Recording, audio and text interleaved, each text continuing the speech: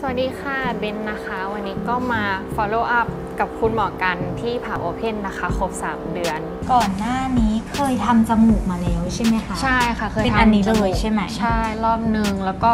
ต้องมาแก้ตอนแรกเนี่ย คิดว่าแบบไม่ได้ทะลุจะมาแก้กับคุณหมอ อยากได้จมูกใหม่ก็เลยมาหาคุณหมอ วันที่มาทำเนี่ยก็คือคุณหมอผ่าเข้าไปแล้วสรุปแบบน้องมันทะลุซิลิโคนข้างในออกมาแล้วใช่พักไปประมาณกี่เดือนคะอู้เกือบ 3 เดือนเลยค่ะ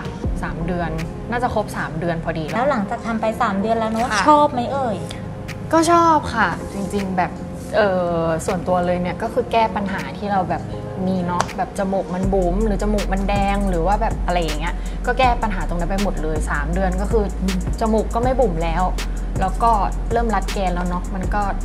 ใช่ใช้ชีวิตได้แบบปกติมั่นใจใช่ค่ะ คนรอบข้างล่ะคะว่ายังไงบ้างเอ่ยหลังจากได้จมูกใหม่ไปแล้ว ก็คนรอบข้างก็ทักค่ะอย่างแรกเลยว่าแบบเออหน้าเปลี่ยนไปนะ ดูแบบดูโตขึ้นดูแบบอืม สาวๆหน่อยๆ ทำไมถึงอยากแนะนำให้มาหาหมอกันทีละทอนคลินิกคะจริงๆจริง ๆ ส่วนตัวเลยเนี่ยเบนเนี่ยคุยกับคุณหมอบ่อยๆมาก แล้วก็คุณหมอเนี่ยก็จะให้แบบคำแนะนำทุก ๆ อย่างค่ะ แบบว่า เคยถามคุณหมอว่าแบบเออทรงไหนที่มันเหมาะกับเราหรืออะไรเงี้ยคุณหมอก็คือให้คำแนะนำได้หมด เวลาแบบมีปัญหาอะไรคือสามารถคุยกับคุณหมอได้เลย แล้วก็ที่สำคัญเนี่ยมาคลินิกทำไปแล้วเนาะมาคลินิกมาแบบเช็คแผลหรือว่าแบบ follow up หรืออะไรเงี้ยก็คือเจอคุณหมอทุกรอบ